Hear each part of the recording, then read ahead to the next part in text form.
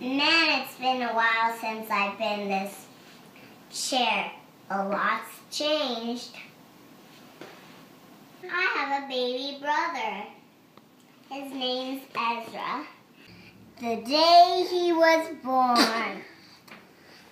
the day he was born was August.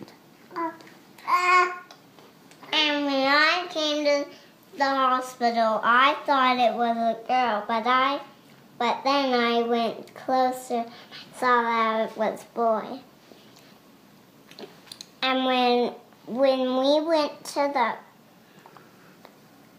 park after his baptism, we got to have cake and play games and do a oh, lot of fun oh. things while my mom while my mom holded Ezra.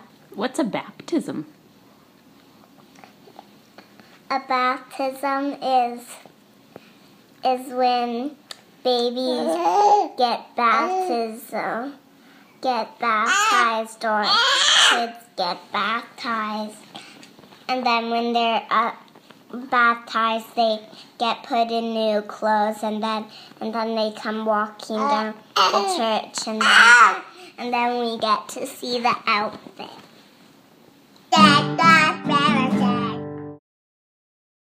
I need to apologize for for talking with my mouth full of food. My mom says it's gross.